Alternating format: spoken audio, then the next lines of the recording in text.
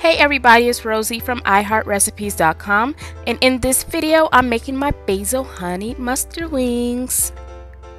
So I'm starting off at my chopping board and I have all of my party wings here. You can use whatever wings or uh, chicken pieces that you want to use. So I'm going to sprinkle on some Southwest seasoning and some paprika. I'm using smoked paprika just to add a little smoky taste. And I'm also going to use some original dash, uh, Miss Dash seasoning. I made sure that I season both sides of the chicken. So make sure you do that as well. You don't want your chicken bland. So once your chicken is nice and seasoned, we're going to set that chicken aside and we're going to work on our honey mustard sauce.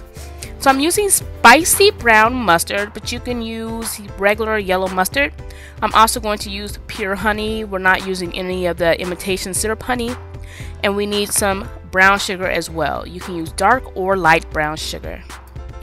Now I'm going to sprinkle in some basil flakes. You can use fresh basil if you want to. Just make sure you mince it and dice it really finely. And I have my spatula here and I'm just going to stir everything and make sure everything is nicely smooth. And that's what your honey mustard sauce should look like once everything is well incorporated.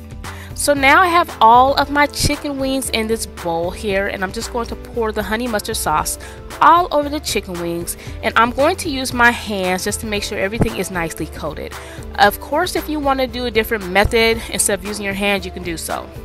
My oven is being preheated on 400 Fahrenheit and now we have this baked dish here that I just lined with aluminum foil because I don't like a lot of cleanup afterwards. So I just placed all of my wings and the sauce into that baked dish. So my next step is going to be covering my wings. I'm just going to cover this baked dish with some more foil and then I'm going to place this dish in the oven for about 15 minutes. So while that's baking, I'm just going to go ahead and check out my friend Larry's channel here on YouTube. He is under The Wolfe Pit. He makes some amazing dishes, so be sure to go over there, subscribe to his channel, and tell him that Rosie sent you. I mean, look at all of these amazing dishes he makes. Go check him out, y'all. Okay, so now I'm going to take my wings out of my oven and I am going to just make sure I brush all the sauce on my wings. And we're going to place this back in the oven uncovered for a couple more minutes. And this is what it looks like once the wings are done. Since you brushed the sauce on the wings while it was cooking, it has this beautiful color, delicious, just moist, juicy chicken at its finest. So I want to tell you all that I am on Facebook and Pinterest.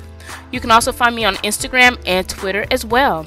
If you like this video, don't forget to give it a thumbs up and be sure to check me out at iHeartRecipes.com for more recipes.